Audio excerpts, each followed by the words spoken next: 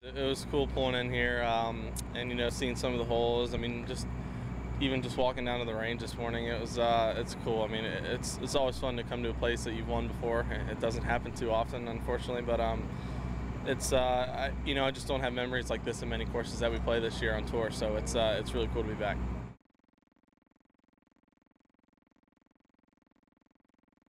It's pretty wild, especially you know being as young as I was and um, probably as immature as I was. It was uh, it was interesting, but you know I just um, in all honesty, I, you know I learned that I, I, felt like I was good enough to, to play out here at some point, and um, you know I played well one day, and um, it gave me a lot of confidence going forward. But more importantly, it just really got me motivated to be out here, you know, with the with the dining in there and how, how well they treat us and you know, the just how well everything is uh, ran out here. It was, um, you know, made me want to come back.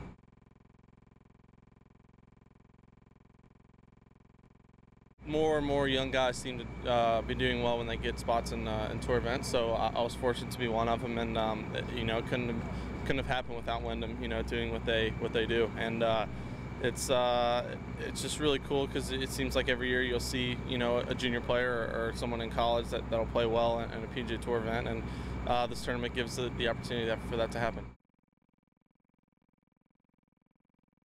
It was I remember a lot. I mean, it was so much fun. I mean, the Canon Cup was was one of the best experiences I've had. I mean, uh, you know, winning the FootJoy was obviously cool, and um, it just really really created a lot of friendships and. Um, I mean, just a lot of people that, you know, like guys I'm going to play practice rounds with today, you know, Ollie and Patrick, the guys that I met out here. And, um, and uh, you know, we've had that friendship for a while, and I'm sure we will for, you know, the rest of our golfing careers.